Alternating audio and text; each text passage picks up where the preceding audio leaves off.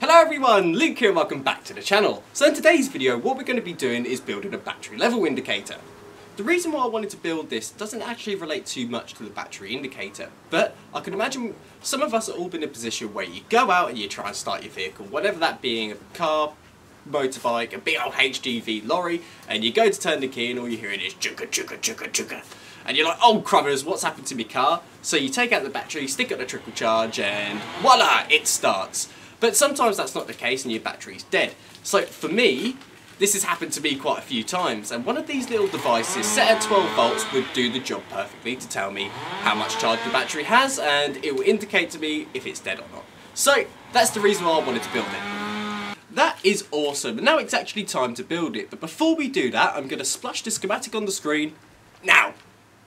As you can see, it's quite straightforward and it's going to be quite easy to build this. Now we know what we're doing, let's put out the soldering iron, the rest of the materials, and then let's get this thing built.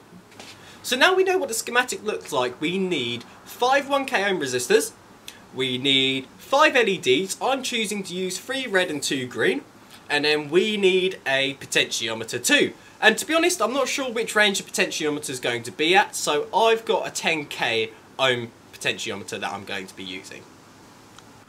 So the first thing we want to do is attach the first LED to the potentiometer. So the positive side goes to the middle output pin and the far right output pin and they both get soldered onto there. So let's do that.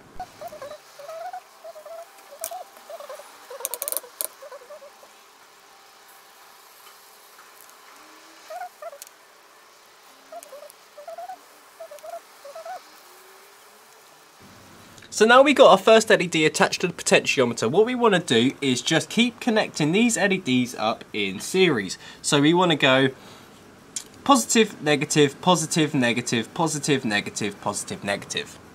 So let's finish doing that.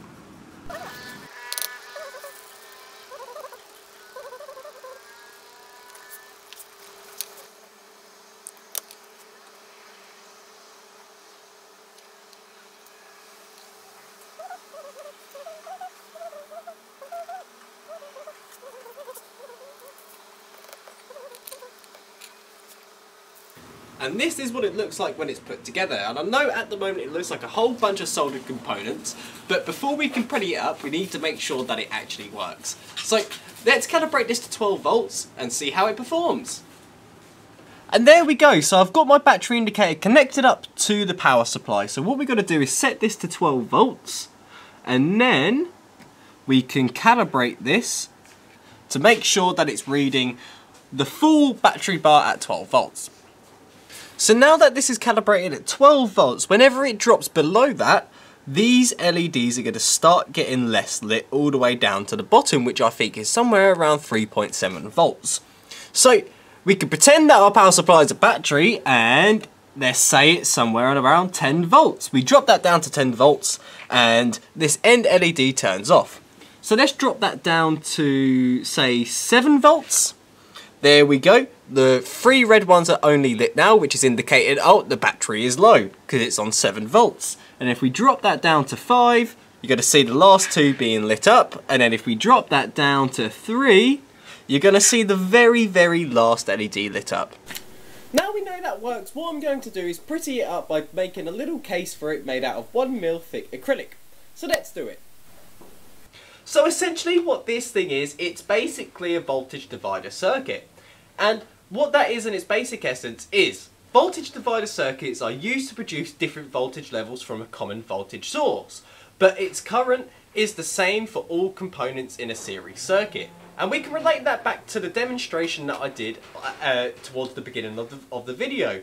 When I calibrated this to 12 volts, I could bang 12 volts down this and voila, all the lights will light up showing me that, well, 12 volts is going down it. And then what happened when we turned it down to 7 volts?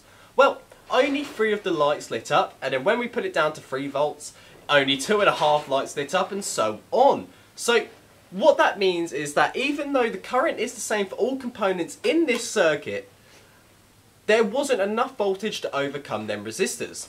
So we bang 12 volts down it, all of it's going to light up because that voltage can overcome that uh, all of the resistors.